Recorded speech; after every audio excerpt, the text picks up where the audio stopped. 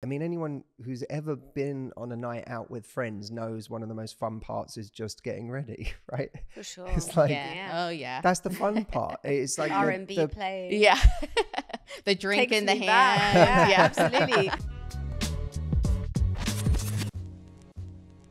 Guys, before we get into the video, I wanted to let you know that on the 23rd of January, there is a big free event happening that I am hosting live called The First Principles for Getting to Commitment. We have thousands of people already signed up. This is your chance to join us too if you haven't already. If you want commitment this year and you're struggling out there in dating, or you're finding you keep coming across people who are casual or just keep you in limbo, who don't want the real thing, this is your chance to learn what you need to know to find it. It's going to be a really powerful event. You can join us for free by going to lovelifetraining.com. So head on over there now and we'll see you at that event. Now, let's get to the video. Welcome, everybody, to the Love Life podcast. I am Matthew Hussey. We are here with Audrey Hussey. Woo! My God. Still sounds w- weird every time I say it. We've added a hussy. And uh, Cassandra Sethi is here with us today Yes. to have a conversation about style and our own personal wardrobe. We have known each other for years now. yes. And I have always known you as the personal stylist in my life that I have never once benefited from until very recently. I know you style people across the world. I know you've been featured on lots of media mm-hmm. and both online media and TV. And you're one of the best at what you do, but I have never actually worked with you until about a month and a half ago when Audrey and I both had the pleasure of getting styled by you for both our wedding and our honeymoon. Yes. It was great.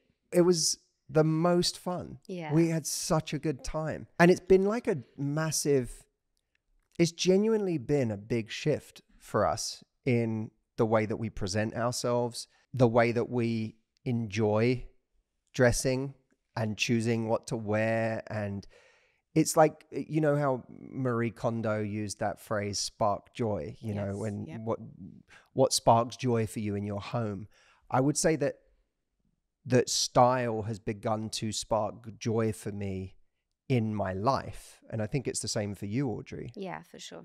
It's been just a really fun process. And I I I feel like a couple of years ago I wouldn't have had a lot of things to ask in this department because I wasn't focused on this department. And now that I've gotten more focused, it I thought this would this has had a profound effect on us. It would be great to take as many different learnings and insights from this experience and from you in the years of doing this that people at home can apply Yes. to themselves, whether or not they ever have a stylist. Everyone is like very few people in this life are above vanity. and in a sense, vanity is a superficial way of describing why we care because there is something fundamental that can change in our mindset when we decide to upgrade our wardrobe, whether mm-hmm. it's the quality of things we have, whether it's just the consciousness that we go into our style with, or just the pride that we take Yep. in ourselves. To me, it's it's very similar to the pride we take in our body when we decide to take care of our body. It's just an extension Yep. of that. So I guess my first question to you is what do you see at a kind of ab- a more meta level as being mm-hmm. the big benefit to people of upgrading their wardrobe and their sense of style? Yeah, great question. I so in my work with clients, I have seen so many incredible transformations throughout my 6 years of owning Next Level Wardrobe and it has been so heartwarming to see. And I would say the biggest thing that stands out to me is the confidence level. And you have someone in your corner rooting for you when it comes to your style and how you present yourself to the world, saying, Yes, that looks good. And yes, like you look amazing, and kind of cheering you on. And when you get that, and when you get the education behind great style, it's a winning combination and people's confidence just goes like that it's incredible to see what does that education look like for Mhm. for the everyday person who is just waking up today going i have really let this part of my life go i you know we obviously talk to an enormous number of people who want to find love part Yep. of going out there and finding love is bringing our best to the table not just in terms of our mindset or our energy but in terms of the way we present ourselves so if I'm a person that is going out there today going, I want to upgrade my my mindset in this area and the way I do it, but I really lack confidence, not just in myself, but in my choices. You know, we've dressed the same way for so long. I got used to, you know, uh, back but when I left London over 10 years ago, I was wearing waistcoats and you know, nice trousers and button down shirts on every interview and everything I was doing. And then I came to Los Angeles and had no more opportunities to get dressed because I was working from home most of the time. It was sunny outside. It's not like walking through a chilly London where you put on layers and you can dress up easily. And everybody walks around in their tracksuits every single day. Yeah, everyone's in Yes. sweatpants. Yeah, yeah, yeah. So- you go for like single day. dinner at a Michelin star restaurant in your sweatpants. I mean, I, have you know, I don't know that that's true, but maybe I'm exaggerating. but you know what I'm getting at. Well, I, I think it was kind of summed up by a friend of ours who we just came back from a month in Japan, and he he lives in LA, and Uh-huh. he said, you know, I, uh, some restaurants wouldn't let me in in Japan because I was wearing sneakers all the time, and I thought, and he said I was like very dressed down and wearing a cap and stuff like that, and I was like, oh yeah, you've been in LA so long that you that for you this is just your uniform at this stage, Yep. and I I really enjoyed that because I enjoy being really comfortable. But it then got to a point where I was like, oh my God, I've now probably been doing this for years. right And I think in that time, I lost a little confidence in like, well, what do I even, I don't even know what to go and choose. Mhm. And I know Audrey had a similar experience of, you know, we would try to go shopping and you'd be like, I don't know what I like, or I don't know what, if I'm going to step outside my comfort zone, I don't know what to buy. So what do you think about that? Like Mhm. when when people have feel like I, I don't even know what good style is. Yep. There's a so much information out there. I'm drowning in it. I don't, you know, I read these, ma- I look at these magazines and it's all like high fashion nonsense Mhm. that I'm not going to do for myself because I just, it wouldn't feel n- right for me. Yep. Where do people even start with getting better style? Yeah, good question. And when I think back to all the hundreds of conversations that I've had with people, I would say that's one of the top three challenges that people have is the feeling of overwhelm. They just don't know where to start, who to trust, where to buy from, what to buy, and then it's inaction at the end of the day. So I would say the first thing is to view clothing as a tool in your toolbox. And you know, some people some people will say, "Oh, it's just a pair of jeans," or "Oh, it's just like how you dress, it doesn't matter." Well, if that's true, then why are there so many negative emotions around clothing? Mm. right? Why do you feel overwhelmed and don't do anything? Why do you buy the wrong things? Why do you feel frustrated when you can't get the right fit? And so I think if you start to reframe a little and say, hey, clothing and style is a tool that I have in my toolbox so I can feel confident every day, it's really powerful. Mm. And then you combine the tactics, right? A lot of style is actually mindset. Can you explain that to me? Yeah. So in my work with clients, I, yes, we focus on the tactics and stuff and doing the closet edit and shopping. But I have noticed that a lot of people have a lot of style rules for themselves and style is kind of like a language that you that you learn growing up right and then you form these rules and then you're like oh it has to be this way so if you approach it as okay it's a it's a skill i have to learn it's a language and it's going to evolve and change as i do as an individual too. Like you should not be wearing the same things that you were wearing when you were 20. You're in a different phase of life. you're married now. And so your style should evolve as you do. And I think once you get those reframes, then Mm. it's really powerful, super powerful. Hey guys, for anyone who is watching this and wants to not simply watch my videos on YouTube, which I very much appreciate, but actually wants to come on a coaching journey with me to get results faster in your love life, I have a free event called Dating with Results that you can watch right now. In it, I show you the reasons we're struggling so much in love, and I help you understand the practical things that you can start doing this week to find love faster. Come over to datingwithresults.com. You can watch this event for free. This is not a paid ticket event, it's just my way of giving you something practical and substantial that can help you exponentially in your love life if it's a priority for you right now. Go over to datingwithresults.com and I'll see you over there for this amazing event.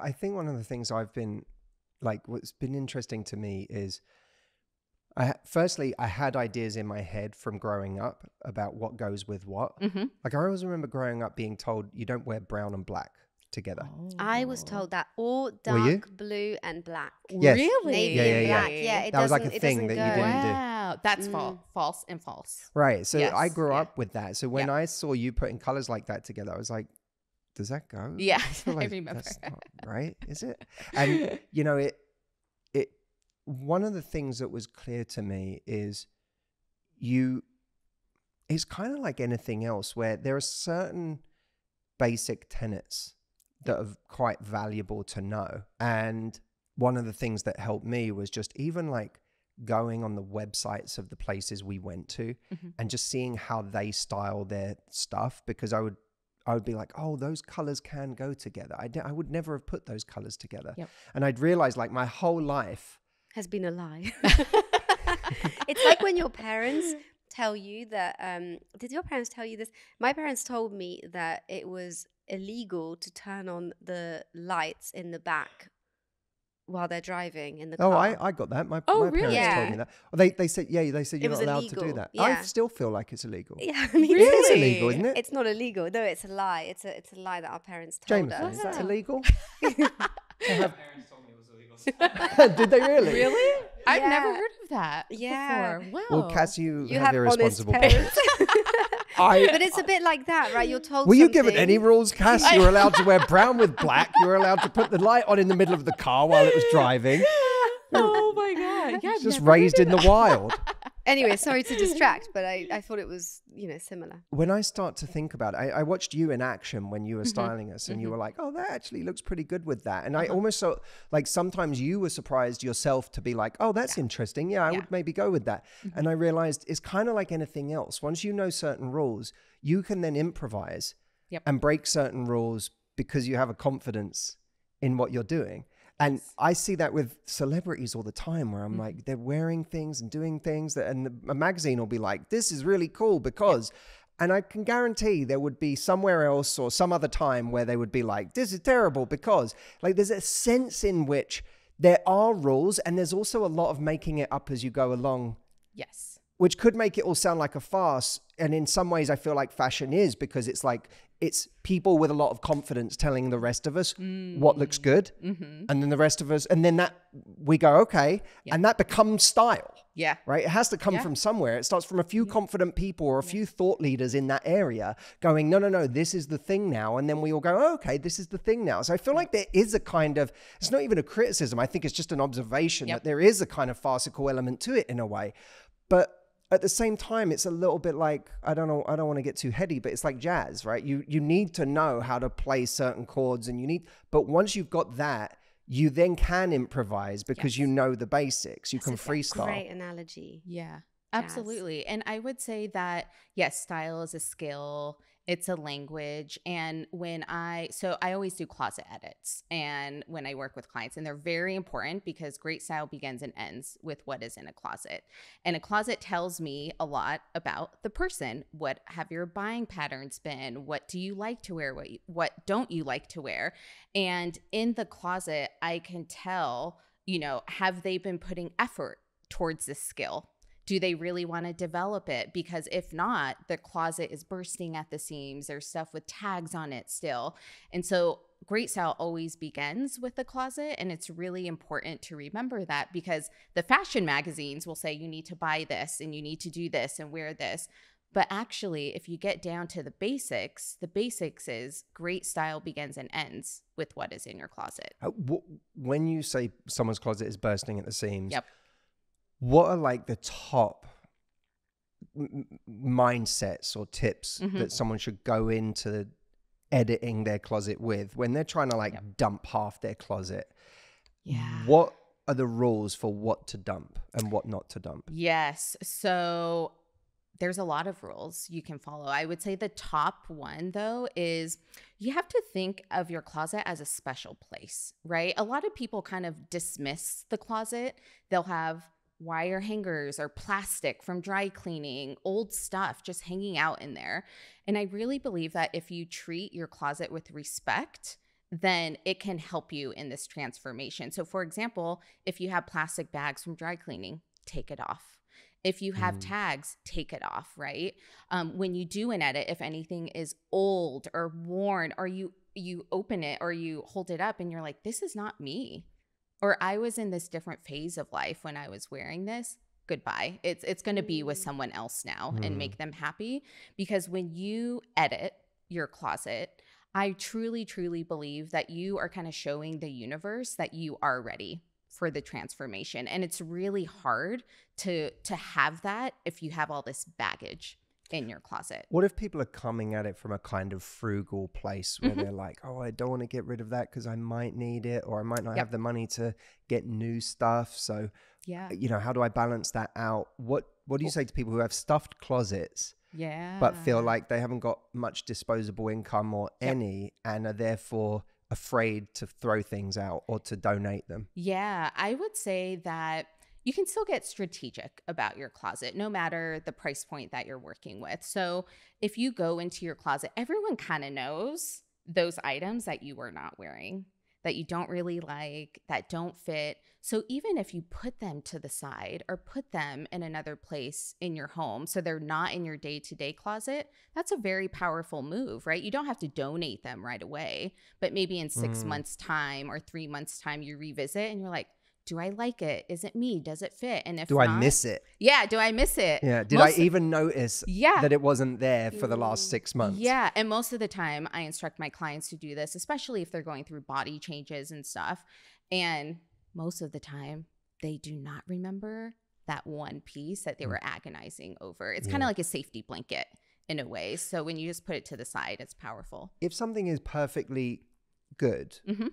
like it's a it's not a bad piece of clothing Yep. it's not unstylish but you just never seem to put it on Yep. like i've got things still in my wardrobe that i realize you know you kept them because you were like well they've been th- this is fine there's nothing Mhm. wrong with this Mhm. and it could fit with your style and but I never reach for it is that something that ultimately should go or should it be kept for a time where i s- might start to revisit it So my question is, why haven't you worn it?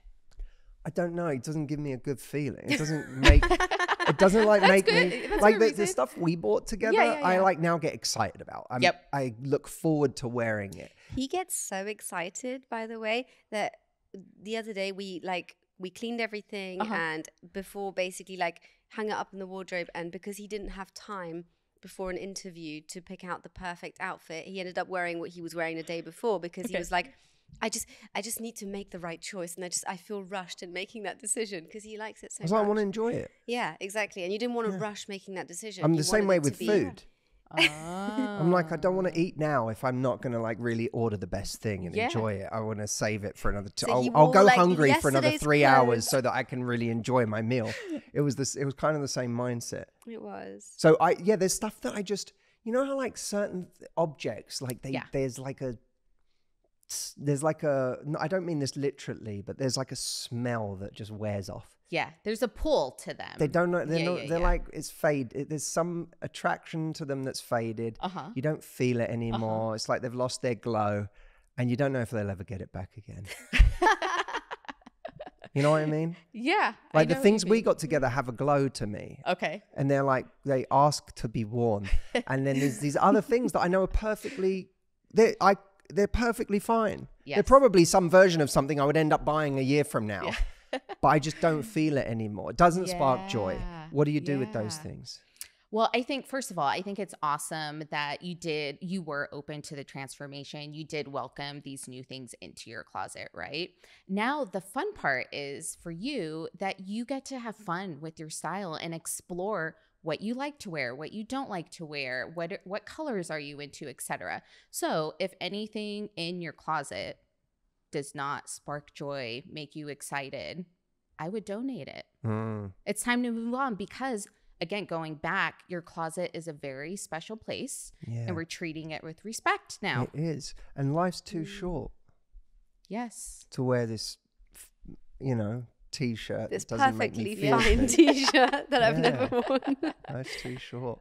One of the things that I got from you was the importance of fit hmm and actually having things taken in or having things hemmed, like trousers. I don't think I ever got a pair of trousers hemmed in my life Yes. because I just was so instant gratification. Like if, if I buy something, I want to take it home now and enjoy it.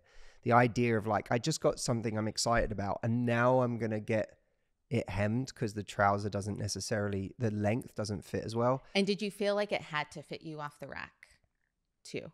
I felt like yes, I, oh for sure. I Mm, felt like it's if mhm. it doesn't fit me off the rack, then what's the point? That was a big kind of paradigm shift for me. The idea of actually getting things um, fitted Yep. properly.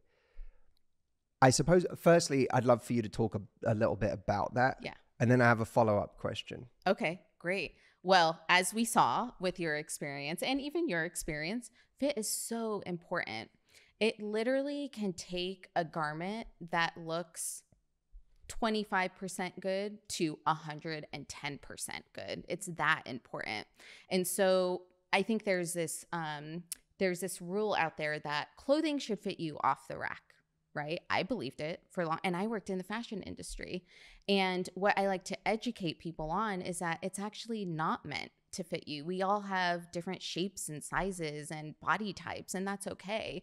But that's when we hire a very talented tailor to easily take up the hem or take up a sleeve, and it looks so much better. I mean, you saw it with your suiting, especially Yeah, it's for the wedding. Yeah. Huge, Yeah. huge. And actually, that doesn't cost that much money because when when I when I discovered through you, you know, hemming things and kind Mhm. of having things taken in, I went on a bit of like a crazy rampage and kind of went through my wardrobe and just basically like took up all my jeans and did all these different things. And actually, you can find a really reasonable tailor that just transforms a pair of trousers you never wear because they're too long and they just don't look good yeah. into something you wear all the time. So Yeah. it's a really good tip, I think, for sprucing up your wardrobe, like we were talking about earlier. Like, in order to, instead of going out and buying that new pair of jeans, you know, can you try and have things kind of taken in so that they fit you Yeah. again? And it's like new, Yes. right? So there may be something in the closet that may be oversized or the hem is too long. But the simple act of taking it to a tailor and getting a very simple alteration of getting the hem, um, shortening the hem, super easy and it looks so much better. And then you keep it for a long time and you wear it for years Hmm. too.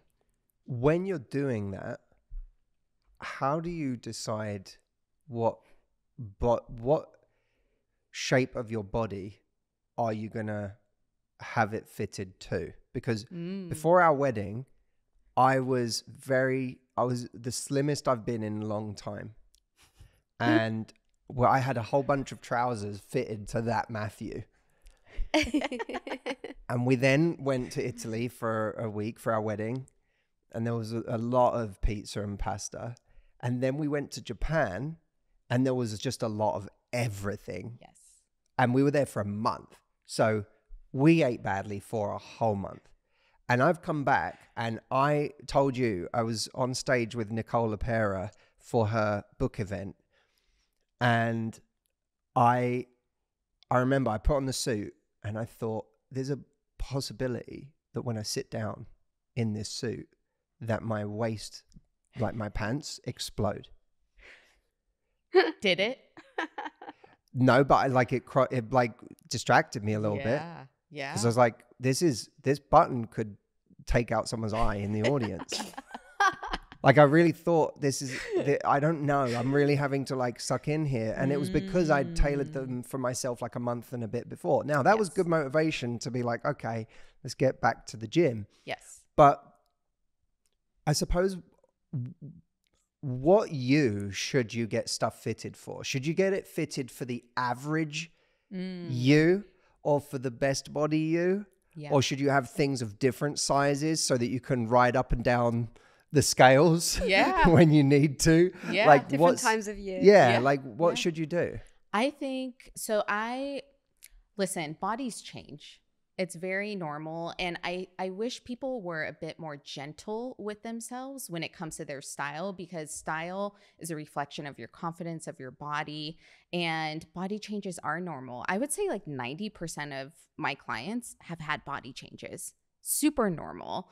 But it's important to have your style work with you not against you. So if you are fluctuating in weights and sizes, like I've gained 20 pounds this year, I have different sizes in my wardrobe. And so some are in my day to day wardrobe, some are in another wardrobe, and I cycle them in and out. And it just kind of makes it more normal versus trying to squeeze into a pair of pants that's too tight or a jacket that's too tight.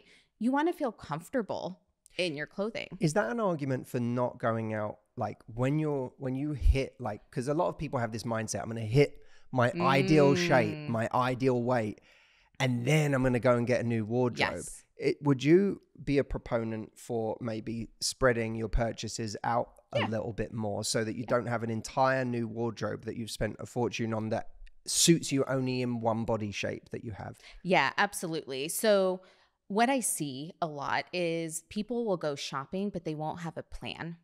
So, they'll get distracted by sales or promotions and they'll buy, buy, buy in hopes that it will fix that they don't have outfits to wear, they don't feel good.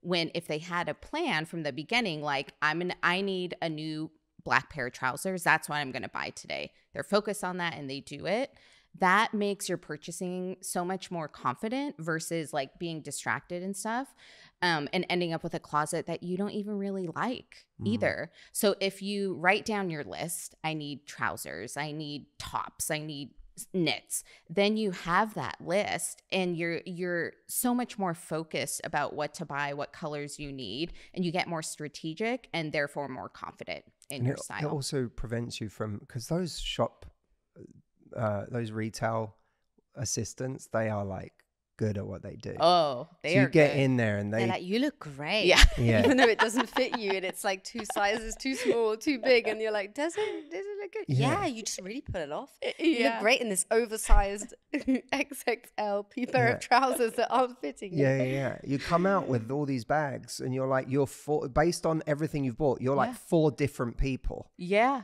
exactly. because they've just somehow managed to get you to buy, you know, half of the things in there. And Yep. you're right, you because you didn't have a plan. You just Yep. had someone telling you you looked amazing in everything that you put on. Yeah, and of course if you if you don't have the style skills yet or the language and you go into a store and the retail assistant is like, "You look incredible." Who doesn't like to be complimented, mm. right? And you're like, "Yeah, I'm going to take that." But if you that's why I say great style begins and ends with what is in your closet. Right? If you knew what you had, what was in there, if you knew your plan, then you could confidently walk in there and be like, "No, I only need a black pair of trousers today. That's what I'm looking for." That's so relatable, what you just said. Mhm. I, I really, really relate to the feeling of I need new clothes. Me and my friends always used to have this joke, which was, you know, we would go out and be like, let's wear jeans and a nice top. A nice top was like the joke because we were like, we never have any nice tops. We can never find anything to Uh-huh. wear with our pair of jeans. And so we would go out and try and find nice tops. But like, how vague is that? You know, Yeah. you don't even know what color, what style, what fit, anything. And so you end up, as you say, coming home with something that doesn't even fit the pair of jeans or doesn't go with the pair of jeans that you had planned to wear it with.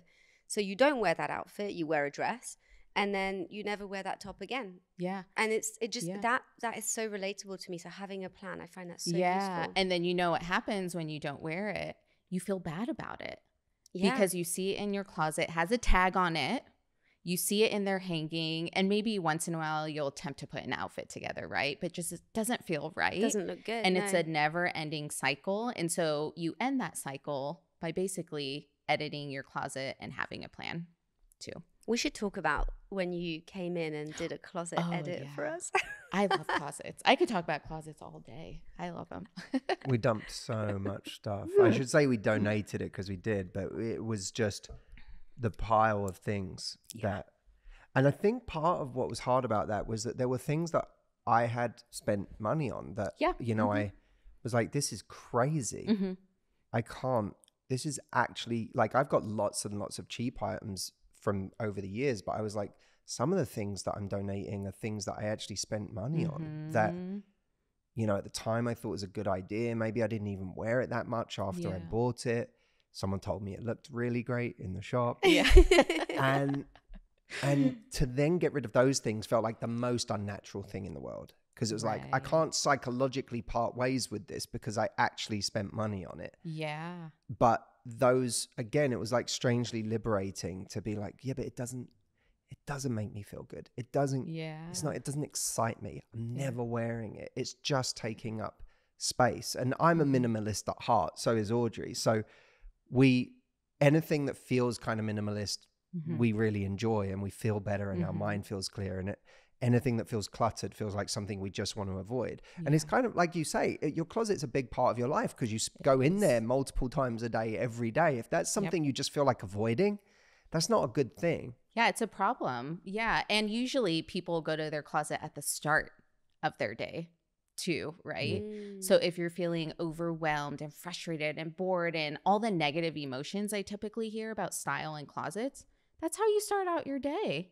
One of the things you said that stuck with me was it's okay to have space in your closet. Yes. Yeah. How do you feel about that now? I want to create more of it. yeah. all your stuff is on my side. That's because I'm clearing stuff out and I needed somewhere to put it just until the weekend. I told you, I need until Saturday. So it, it's unreasonable for you to be bringing this up right now. It's disingenuous because you know. I, if you were saying to people, pick five, if, if there were five things Yep.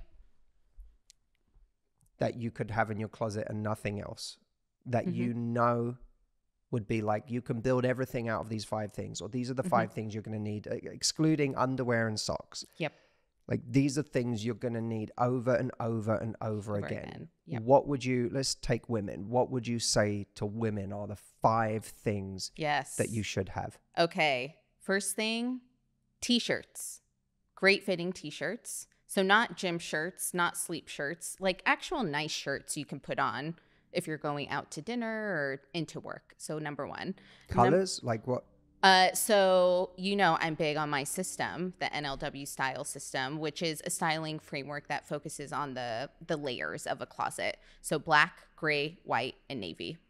Because you're gonna get the most outfits out Okay. of those, okay? so don't go so if you've if you're rebuilding your wardrobe right Mhm. now don't go Mhm. out and buy a green t-shirt No, don't buy a green one because you basically want the most bang for your buck, Mm-hmm. right? And you're going to get that with those four colors. Now, that's not to say, oh, if I like pink or like to wear colors, I can't I can't buy those. You can. You just need to invest in those four colors first, okay? that should be your foundation Yes. okay foundation. so t-shirts T-shirts. number one Number one, I would say sweaters. So lightweight sweaters. So here in LA, we can't wear super heavy sweaters. So a nice sweater is really good.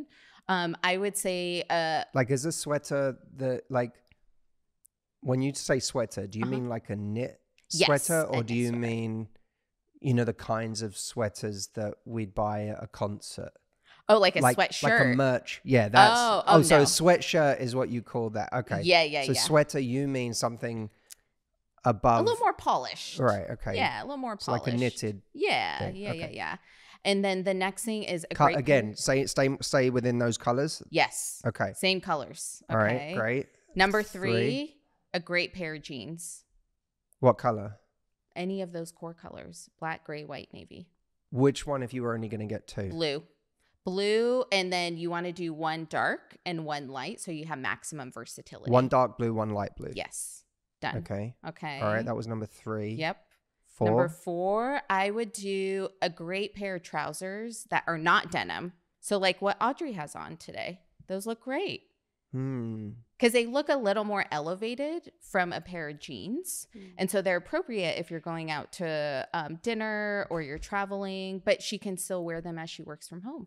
And actually, the reason I bought these is because you inspired me and gave me permission to buy trousers that were not just skinny jeans, which is what I always used to wear. I just used to wear jogging bottoms and skinny jeans. Yep. And you kind of said, actually, you can wear real trousers. And because we bought a couple of pairs Mhm. together, I was like, oh, these look really good on me and I feel really good in them. And then I was able, it was almost the way I see it is like your mind expands and you give yourself permission to try something new. Yes. Whereas I think we get so stuck in the way that we kind of think about our style. And Mhm. that's what for me, you, you know, that was one of the huge things. It was just giving me permission to try different styles, which was amazing. Oh, I'm so Mm. happy to hear. Yeah. And you look great in them Thank you. too. Really good. So trousers was number four. Yes. Was it number four? Yeah, I think it was. Number five is a layering piece. So, a layering piece could be a cardigan, it could be a blazer, it could be anything of the sorts where if you have your t shirt on, you're putting something over it to elevate it. Mm. And this is especially good if you work from home because maybe you have a Zoom call you want to be casual for, but then you're meeting someone for lunch. So, you want to look a little more formal. You just pop it on, go. Done. And again, one of those four colors. Yes. What did you say? Black, navy, gray, Or white. or white? Yes. How? Because I was really uncomfortable initially doing like a monochromatic Mm-hmm. type Mhm. look where you have different shades Yeah. of the same color or the same shades of the same color and so on. So I always felt safe contrasting Mm-hmm. colors.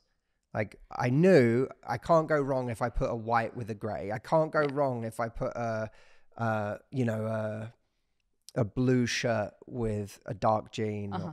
but whenever I, I just couldn't wrap my head around being confident enough to layer clothes that had similar colors or the Okay. same color. Uh huh.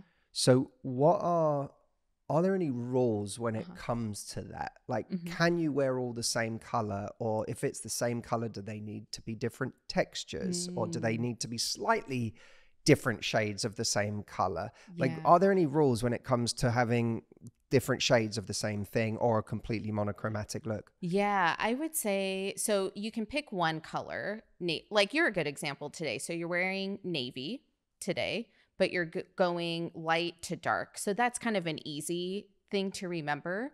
Um, you also want to play with texture. So like your top is it has some fine texture to it Mm. compared to the pants. So texture is kind of the key to elevate it and make it look interesting because a lot of people will say I'm going to wear black and they'll wear kind of the same color of black. It doesn't have no character to Mm. it. It kind of looks flat. And so when you integrate that texture, it really makes it come alive. And so that's why when we went shopping, I was like, okay, what texture can I bring into the fitting room to kind of elevate the outfits? Yeah. I love that. I have a Mhm. question. Can I just ask one question quickly about the monochrome? No, you may not. Yeah. I just because I like okay, some of the stuff we got for Yeah. me Yeah. is taupe. Is that Uh, the right? taupe. Taupe. Yeah. Taupe. How do you say? It? It's a French word, I think. Top. Taupe. So Oh, I is it French? I don't know. yeah, I think it's the French Okay. word for mole. Is that right? Taupe. Uh, I'm gonna look I this up. should know this. I In think it might be the uh, French word for mole because the word top comes from the color of a mole. I think. Oh, I've never heard this before. Yeah, I think Une taupe. How do I not remember this? This is when I realized does, my doesn't French it? has faded. Yeah, you're yeah. right. une Look at that little mole. I know, it's Oh. so cute. Yeah, because I think that's the color of a mole. Let's edit this bit out no, and just have, no, and just we have me not. go. It will yes, be yes. known that my yes, French yes, is better than. Audrey's, who is French.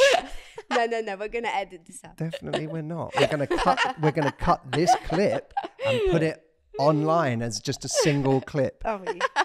If you're gonna wear top, can you wear? If do you have to wear different shades of it, or could you literally wear like the same trousers and the same color top. It depends. See, this is where there's kind of like an art and a science to style. It's a language, right? And so if you were wearing it to a formal event, maybe you could wear it all from head to toe. Maybe you're wearing it to a casual event and maybe you want to spice it up a little and go light to dark. So there's kind of like a nuance to style um, that you have to keep in mind. And we can talk about it more after. Mm. I want to see the outfits you're referring Can you wear to. matching? Do you can you wear a blazer that doesn't go with those trousers? Like if you have a suit trouser, Oh, you can wear mhm. a different blazer that's not designed to go with those suit trousers. Yeah, definitely. Right. Oh, Audrey, you had a question, please. I do. I have a question. I think so. This is something that If I you'd like me to ask it in French for you, I will. but that's not going to make any sense because we edited that bit. um, so my question is, I think something that's very common for people Mhm. is, you know, giving into comparison. So you know, you go on Instagram, right, Yep. and there's like a beautiful, probably AI generated woman who's wearing an amazing dress, and you're like, oh, I want to look like that. So you order the dress and. It comes and you don't feel like you look anything like the person who advertised it. Yeah. And as a result, I think it's very difficult for people to almost not get tempted to try and re- re- like recreate and replicate, I should say, styles that they see online that aren't necessarily styles that will suit them. And I'm speaking from experience of this. Mhm. And so, how do you kind of not give in? And what do you do about this kind of comparison? And how do you know what your style is and stay in your lane of the style that's actually going to make you feel good? Yeah, good question. I get this a lot Mm-hmm. because I think for women, there's a lot of pressure to define your style. Yes. Like, it's something us women talk about. You see it in the magazines, you see it on Instagram. What is your style? Right. And for me personally, I'm like, I want to be who I want to be when I want to be that person. And so I think one, you have to be very careful about who you follow. Mm. on Instagram. So I think at the same time you do a closet edit, you're doing an edit of the Instagram accounts I love that. that you follow. Hmm. It's really important, right? Who you're learning from. And if you get ads, you mute them. Yeah. That's what I do. I mute ads that don't make me feel good. Yeah. Oh, that's great. I go, not interested, Instagram, thank you yeah, very much. yeah, yeah.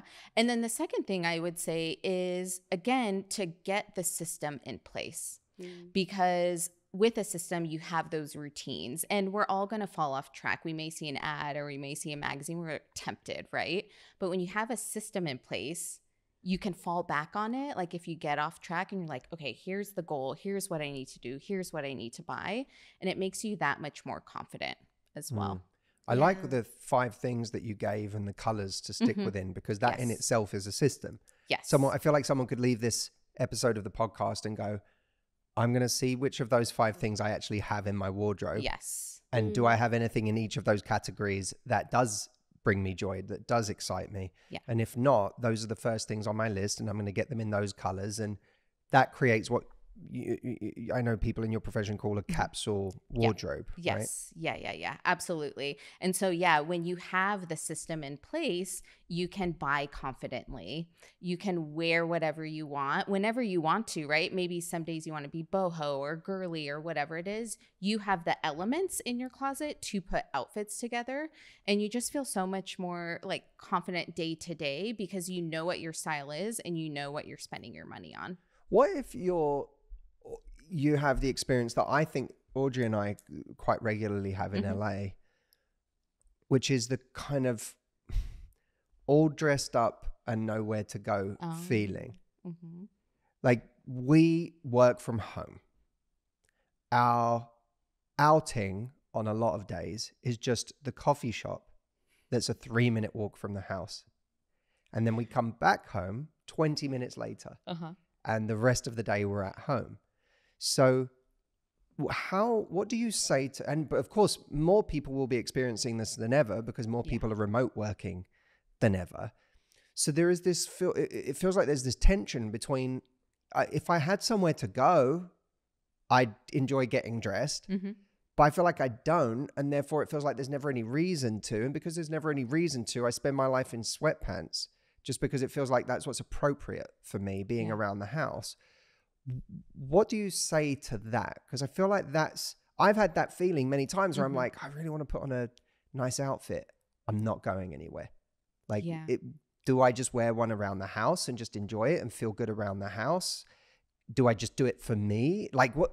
I, I'm so curious as to what you're going to say about this. Yeah. So with style, there's kind of two avenues um, in terms of where you are presenting yourself to, right? There's the external world, your coworkers, your partner, your colleagues, whatever that looks like. But then there's also the internal. And I don't think many people talk about this enough, where it's like, I want to dress up because I want to dress up because it makes me feel good. It makes me feel confident. And maybe that doesn't look like five days a week you're dressing up for work from home, but maybe it's three days out of the week Mm. or two days out of the week and taking baby steps into it. I know for myself in the pandemic, I did force myself to kind of dress up. Um, and I did notice that just kind of my productivity throughout the day was better. Mm. I felt better. If I had to run out and do an errand, I could and I didn't have to change 50 times, right? It was just kind of easy and it's a nice thing to do for yourself. Yeah, there's something there's something ritualistic Mm-hmm. about it. That feeling of you shower, you groom, you get ready. The act of getting ready. There's something about that. When you lose that, you lose something from your day. I mean, anyone who, who's ever been on a night out with friends knows one of the most fun parts is just getting ready, right? For sure. It's like yeah. Oh, yeah. that's the fun part. It's like R and B the- playing. yeah. The drink Takes in the hand. Yeah, Yeah. absolutely. the pictures on the uh, on the digital camera Yeah. that you take out to the club. That's oh my funny. god, good times. But there's something there's something ritualistic about it. Yes. And I think that when we're not, when we're at home a lot, especially those of us who work from home, we are, we're missing that ritual without realizing that we're missing that ritual. yes. And it's in some subtle way affecting our mindset. It- it- Absolutely. you know, I've heard um, Guy Ritchie, I think it was, said this that for him, it really is like he wears a suit a lot. Mhm. And for him, he was like, my suit, it really is like my my armor for the day. You know, it really is like that's that's what I put on to go and be ready yeah. for the day. And I I really understand that feeling that it I feel ready for the day in a different way by taking that time to do that. Even if it is, you know, I've I think one of the hurdles I've had to get over is it might just be for me. I might not see anyone today, but there's still something about it for me Yes. that makes a difference. And and I think add into that if people need a reason, add into that the fact that probably a lot of us working from home are doing Zoom calls. And you know, I this is a, an interesting area because for me, you know, running a company, Mhm. I would I would have nowhere to go but home. And you know, I I like training and I do jujitsu, and so a lot of the time I'm coming from that and throwing something on, and Mhm. and it's very easy just to slip into something comfortable because you're like, ah, I've got ten minutes till I have to do a meeting and so on. But I think that there's almost a like I've started, and maybe I'm just getting older, and so I'm just getting a bit stuffier in certain ways. I don't know, but I've started to feel like it's disrespectful to the meeting Mm. showing up in something that just isn't that that doesn't feel smart that doesn't i'm not saying it has to be formal but that just feels sloppy it Yeah. feels like i'm i'm even setting the wrong tone for my staff Right. because i'm showing up in some like baggy hoodie and with my hair all over the place and it feels like i'm now setting that tone for everyone else too and there's something to me about showing up dressed to even a zoom meeting that makes me feel like i'm actually ready for business i'm Mhm. taking this call seriously Mhm. um, so even that I feel like is super. Im- It, it can be important. I don't want to Yeah. say it's important for everyone because some Yeah. days I want to be like, you know, Mark Zuckerberg in the social network where he's just like show, showing up to the boardroom in a hoodie and sandals and he's like, I can do this. You know, like it, I think it's hard to know which mm. person you want to be in life. Yeah. I really think this goes to the heart of what Yeah. like you do because Yeah. some you don't always know who you want to be in life. Sometimes you're like, I really want to be that guy.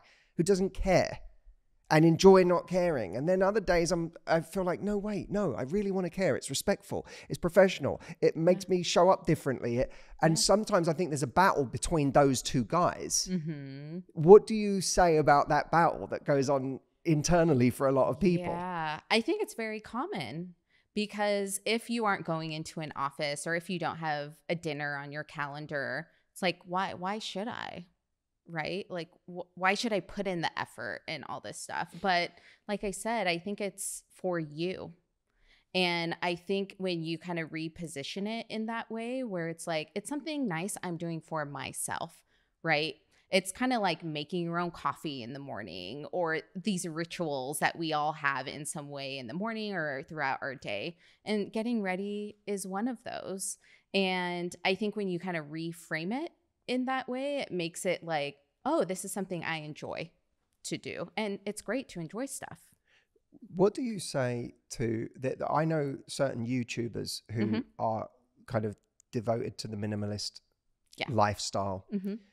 who have like three pairs of the exact same pants and f- like 10 black t-shirts that they rotate and it's they're like a cartoon character that Mm-hmm. Yeah. never changes clothes it's like this is my uniform i wear it all the time it means i am reducing my decision making to essentially zero every single day Yep. and that, that to them fits with the minimalist idea Yes. i that some part of that speaks to my heart mm-hmm.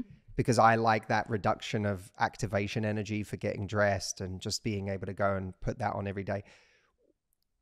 What what do you think of that as someone who it almost seems antithetical to what you do? I'm just curious as to what you make of that kind of lifestyle when it comes to clothes. You know, I like it because they have developed their own system, right? And I think great style is about a system. And so if their system is, let me just buy the same pant three times over, great. And it works for them, right? And so I can see how it cuts down the decision fatigue and all this stuff. And so they've really focused on this is what I need and that's it um they don't it, it, to me it doesn't seem like they enjoy style right they don't really want to learn about it or anything and that's okay too but most of my clients and i think both of you like are interested in learning more like about fits and textures and all this stuff Yeah, well, I think I, I almost see it as uh, equating to the way, you know, some people just aren't that interested in Yeah. food. yeah they will just be I, I'm just I eat the same thing every day because I just don't care. It's just fuel to me. And I can't relate to that person. Some people don't like music. They're just like, yeah, I just not that. I don't really. I don't feel that much when I listen to music. I don't care. Like there are people that just don't. The flavor of things or the richness of Yeah. things, it doesn't speak to them in a certain part of life. Right. And so I think that's what you're speaking to is that it just doesn't. For me, I like. I do. I'd go through whole phases of not Mhm. caring, and Mhm. and then when someone like you comes along and gets me passionate about it again, I'm like, oh, I really do like the flavor of of clothes, and Yeah. I, you know, I like trying different things, and it's fun. But it's I'm wondering if you think those people lose out on something, or they even if they don't enjoy it, do you think there's any outward component of like it? It not hurts them in any way, but do you feel like there's in some way it reduces their impact in life not to have more variety? Yeah, I think it's interesting you bring that up because I view all of us, whether we own our own business or not, like we are selling ourselves at the end of the day, right? Like you are your personal brand, you are, I am. And so I think if you think about it that way, it's like, okay, what do you want your personal brand to be? When people look at you, what do you want them to think about you? If they're going out on dates, right? That could be important as well. And so I don't know if they they think they're necessarily losing out. But for myself, I can say like I want to style is a tool that I am using in my toolbox and I want to use it to my advantage. Hi, guys. While you're here, I wanted to share something with you. My second book, Love Life, is available for pre order right now. How to raise your standards, find your person, and live happily no matter what. This has been the single hardest project I've done as a single piece of work is perhaps the proudest I've ever been of something I have created. I've poured myself personally into this book. I think you're going to learn more about me than you've ever learned, even if you've been watching my YouTube videos for the last 15 years. And I think it's different from anything else out there. I think you could have read a hundred books on love, and I don't think you will have ever read anything quite like this. It's available for pre order right now at lovelifebook.com, and I want to urge you to pre order it right now for a couple of reasons. One is that the more people pre order, the more a book makes a splash. And the more this book makes a splash, the more we can use it to help more people. But the reason that you should pre order for you is because I have put together some incredible bonuses for people who order at this early stage. And the earlier you pre order, the more bonuses you get. This is my way of saying thank you to you for helping me get this book out there. So go over to lovelifebook.com and pre order, and you'll be on the list for every single one of those bonuses from this point forward. You know, it's so interesting you mentioned that because that was going to be my next question to Mm-hmm. you because there's going to be so many people listening who are dating and they're going on multiple dates a week or, you Mhm. know, multiple dates a month. And they're going to have the experience that we've all had where you're literally looking at a wardrobe full of clothes with nothing to wear and you look rubbish and everything and you just literally feel despair every time you have to dress for anything. So, Yeah. do you have any advice for people in terms of how to you know how to feel good and feel sexy and feel confident in clothes that they're wearing for dating Yeah, yeah, great question. I would say it all comes back to a system, right? Because when I was dating, you know, you you're leading up to this moment and you're you want to look your best and feel your best too. But if you go to your closet and you don't have the right pieces, you feel anxious, you don't feel confident. But on the other side, if you had a system, if you invested in the right pieces, had the right colors, you could easily put an outfit together. So, in my opinion, 99% of people should be focusing on that because it bleeds into so many areas of your life. Mm. And also, don't forget accessories too, like makeup, jewelry, bags, shoes. Those are fun ways to kind of elevate a look too. and what about if you feel like your body you know we spoke a little bit earlier about mm-hmm. your body changing and i know there's a lot of people who don't feel confident in their bodies you know maybe they are a few kilos more than they wish they were um you know whatever it might be how do you combat that in terms of if you feel like you want to feel sexy and attractive but you don't feel like clothes really fit you and make you look that way Yeah, yeah. I would say that's very common with the clients that we work with. And so it's just about getting creative around it, right? Because it's not only about the clothes, it's how you carry yourself, it's mm. what you say. There's also accessories and makeup and hairstyles that you can kind of experiment with. So I would say if you have the system in place, that kind of eases that anxiety. But if you wanted to up it a little bit, you could play with maybe instead of showing legs, you show a collarbone or you show your arms, right? There's other ways to kind of be sexy Yeah. without being traditionally sexy and showing more than maybe you were you wanted to. So you can play with that. yeah What are the things people should, if they're going to spend more money on something, Mhm. what should they, what should they be happy to buy cheap, and what should you not buy cheap? Mm.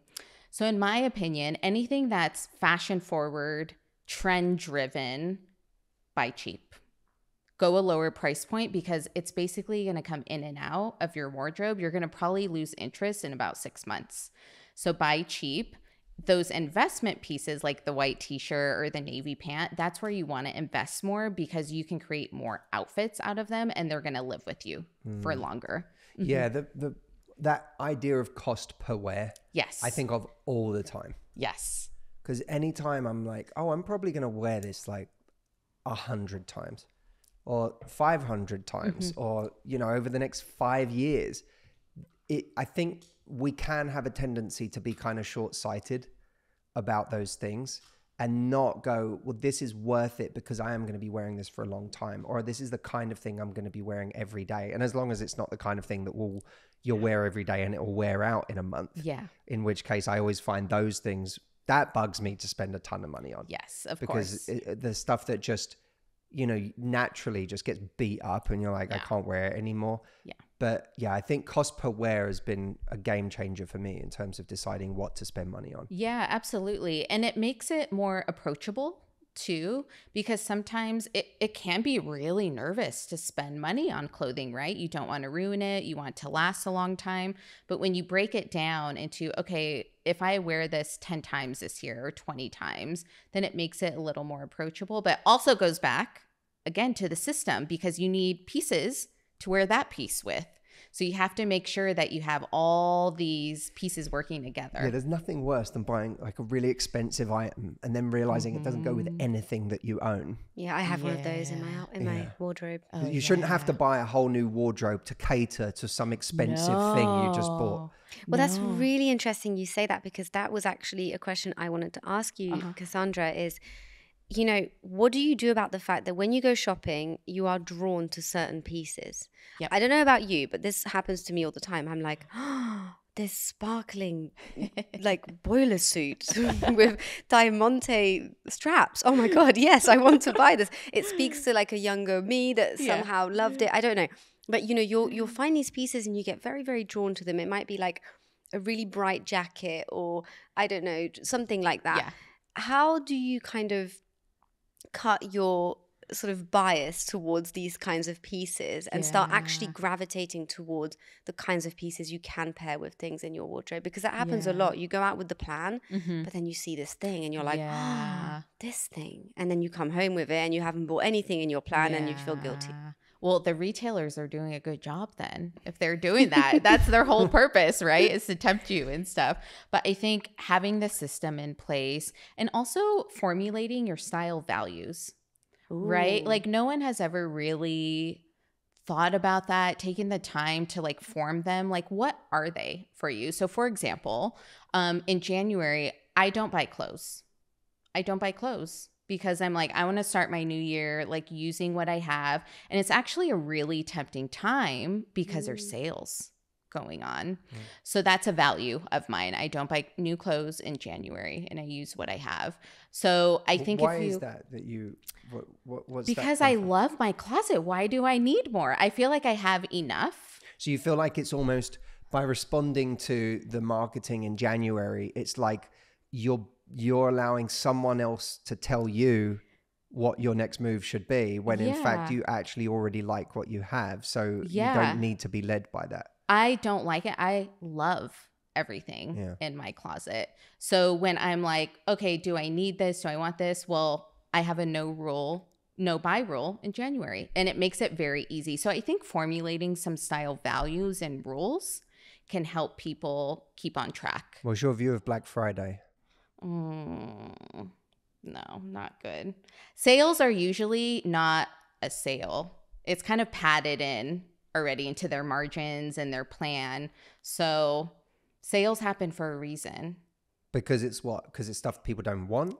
That and they've basically when they buy the goods, they pad in that they're going to have a sale into the retail price. So Oh, it's so already paying the proper Yeah. price. You're yeah, just, yeah, yeah, yeah. It's just Oh yeah. from an inflated price, they bring it down to a normal price. Yes. And this is where my um, fashion industry experience comes into play because I worked in the fashion industry for over 25 years. So I know kind of the ins and outs and the behind the scenes of it. So I like to educate people on what really goes on behind the scenes because then they feel more confident when they go shopping and, and what they're buying too. Because now I have some nice things Yes. that I have, feel I have to take care of. And also, I now don't want to wear something wrinkled, right? Which I now distinctly remember a conversation I had with your husband, Ramit, Uh huh. when we were having, he obviously specializes in finances. And I was having a conversation. I don't know why, you know, Ramit will always get onto the conversation about t- t-shirts and wrinkles and ironing if he can. and in this conversation, he he absolutely just ripped me to shreds for the idea that I would wear something that I hadn't ironed Uh huh. previously. Uh huh. So I and I happen to know that Ramit is the one who does the ironing. He is in your household. He is, yes. so what before Ramit, what did you do when you had wrinkled clothes and you're not someone who you again you care about your presentation. Yes. So yes. what did you do? do? Were you ironing your own clothes? I would pull out that iron with the biggest sad face on, iron, and so, put it away. so do you iron in advance? Do you iron like the week's outfits in advance, or do you iron per outfit? Dep- you're like, oh, this is what I'm going to wear today. I'll iron it. So I iron per outfit because um, I have a system in place. So I can put outfits together in 60 seconds or less. So Mhm. it doesn't take me any time. And so to do a quick iron doesn't take any time. Literally no time at all. What do you So- do? Oh, this is such a. I can't believe 36 year old me is asking this as a real question that I'm interested in. But I can't believe you just asked, what do you do if you really don't want to iron? Well, get get a load of this question because I'm about to deliver something really fucking spicy. Um, when you have trousers that have a pleat in them Okay. and you want them to be nicely ironed, I get the impression some of the trousers I've got you're not supposed to iron because of the material, but maybe you are. I'm not sure.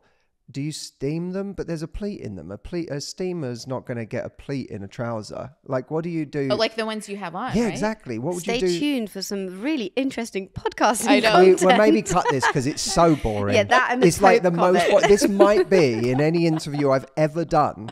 It honestly might be the most boring question I've ever asked in my life. This is turning life. into Matt's Q and A for me about his Correct. Yeah, yeah, yeah. correct. I'm, I am deeply, I am worried that this is the most boring thing I've ever asked.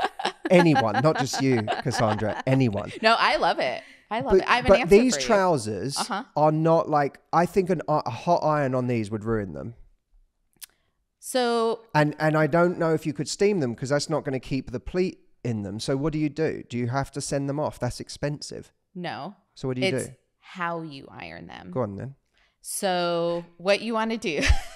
Go on. Let's do it. We've done a podcast podcast episode about how to iron. Jason, iron, we need some uh-huh. BTS of me ironing. and it's for Yeah. Matthew. it's not. It's just for me. I think this is a very progressive episode.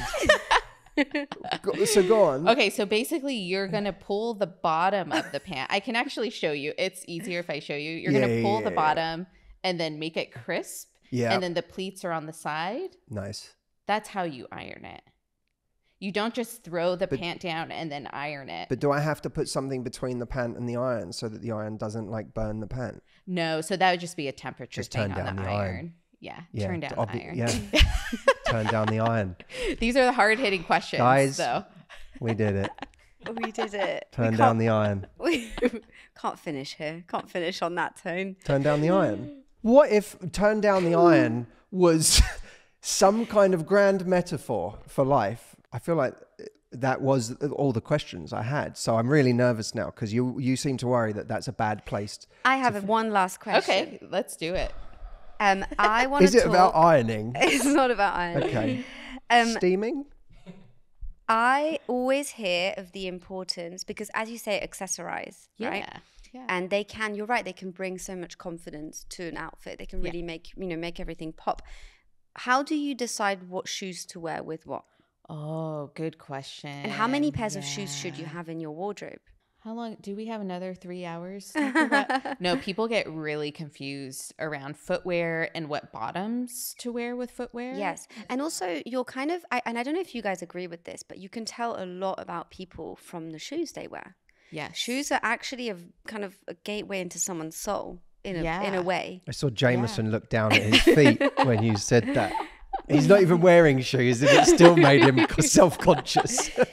No, but I think, I He think it's true. socks. It is. I think it's true. So, yeah, like how do you, how do you kind of choose a shoe that really reflects your personality and a shoe that's going to go with what you're wearing and make you feel confident? Yeah. So there's like clothing in a closet, there's basics that you need to have with shoes, right?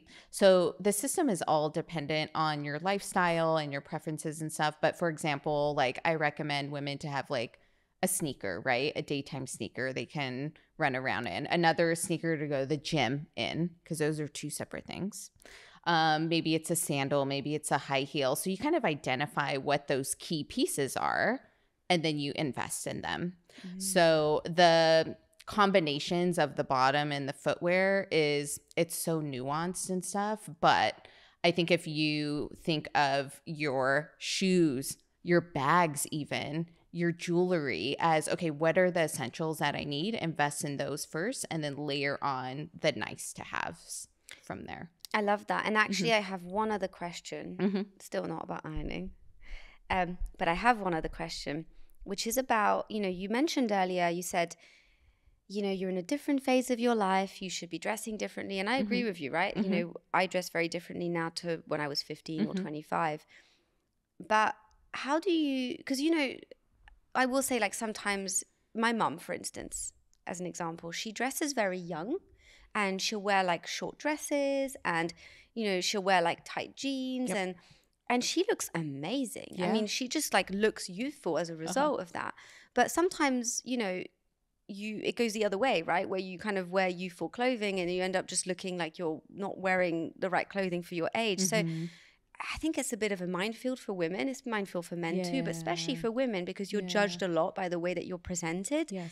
And how do you make those decisions based on, you know, what age you're at? Yeah, I think it's again having your style values, Mm. right?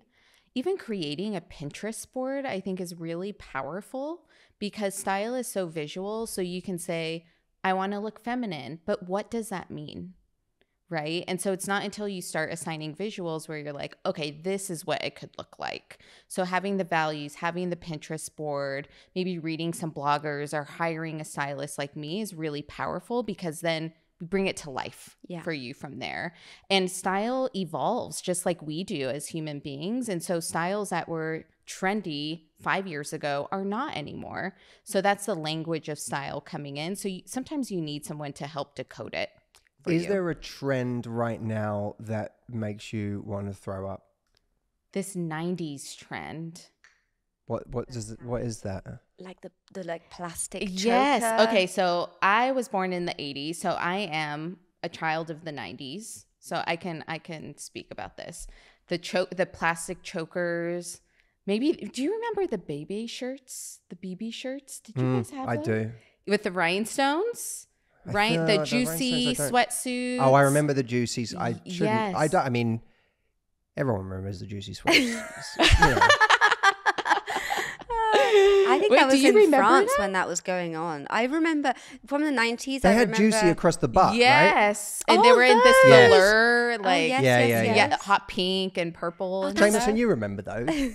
Oh yeah. Yeah. low rise pants Yes. as well. like the Britney All pants. making it yes. and you don't. You're not a fan. I'm not into it. Maybe it's just a phase of life I'm in. I'm older now. I'm not going to the club Yeah. Are the- Are the juicy things coming back? I've seen them. Really? Yes. We can get you some for Christmas, babe. Yeah. To be clear, I didn't. I wasn't wearing them myself. Who's observing? I, I, Yeah. Right. How Um, dare you? Yeah, I was waiting for that one. Yeah. What would be your advice as a sign off to people who are going away from this Mhm. And thinking, what are the what are the next three things I could do if I actually want to make some progress this Mhm. week?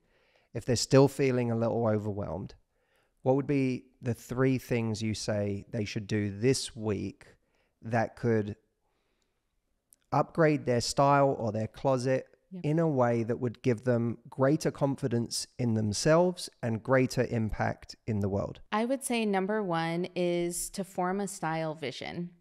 Like we've talked about, I think style can be a downer for a lot of people, and it should not be. Like, I truly believe everyone deserves to have great style, no matter your budget, your age, your size, everyone deserves it. But you have to form the vision. So, we got to get you back to that place of fun. So, the Pinterest board. So, that's number one. I would say number two is really look at your closet and start to make baby steps with editing it. So if there's one piece that has a tag on it still, you haven't worn it in a year, it's time to donate it. It had a good life, it's moving on now. Okay. And then the third is change change the hangers in your closet. It's a very small thing to do, but it's so impactful because again, we're treating our closet with respect, Mm. right? And if you have the plastic from dry cleaning and the wire hangers, it just feels messy and chaotic. So I always recommend these velvet hangers on Amazon. They're cheap, you can buy them. They look so luxe and nice. It's like you're walking into a boutique every Mm. day. So I would say with those three things, you feel confident, you feel in charge of your style, not the other way around, and it becomes fun again too. That's really cool. I love that. I and I feel like there's a lot of people that are actually going to go and do that. In fact, tag us, you know, put a picture and on what on Instagram of your wardrobe edit or the new hangers you've got or something you a shift you've made or even just a pile of clothes that you're getting rid of. Take a picture of it and tag us and Cass. Uh, I am at the Matthew Hussey and Cass is at Next Level Wardrobe on Instagram for those of you that are after a much more boutique experience, Cass does personal styling at the highest level, and it was an incredible experience for me and Audrey. We enjoyed it so much. Everything from the wardrobe edit that we did, that where you came over and dumped half of our wardrobe into a pile to donate. Yes. Yeah, no, it was it was savage It was. but it was amazing and the shopping part of it and going out and trying new things and it was such an amazing experience. So if you are looking for something much more personalized from cassandra she is incredible at what she does. Go check that out. You can find the details at her instagram account at next level wardrobe. And also just go and follow Cass on Instagram because her if you actually just look at her feed, there's all sorts of suggestions. And I, I love watching your stuff now because you're literally, you know, for both men and women, you'll show colors that go together, you'll show outfits that go together. You actually show in action what this system looks like and what that capsule wardrobe of having limited colors and certain staple things looks like. So if you're looking for a visual to go with all of the advice from today, go to Cass's Instagram because it's really, really good and practical. Uh, but Cassandra Sethi, thank you so much for being here. It's such a pleasure. Is there anything else you want to tell people uh, about where to find you, or do you feel like that covers it? Yeah, definitely follow us uh, at Next Level Wardrobe. And we do have an email list that has a freebie, um, three pieces to have in your closet. And we include brand suggestions as well. So if they visit nextlevelwardrobe.com, they can get that. Incredible. Thank you so much for Amazing. Yeah, joining us. thank this was so much fun. We This have to do this again and email us question. You know, send send an email to podcast at matthewhussey.com if you want to follow up episode on uh, ironing and and just different techniques and more detail. Oh, well, Obviously, now we're gonna have we're inundated with Oh, no. emails. let us How know. are we gonna filter Listen, through all people of can them? people can vote with their emails and let us know. All right, I think it's not going to be as boring as as you're making it out to be when people tell us the feedback. Cassandra, thank you. Thank you. Thank you, Cassandra. Thank you.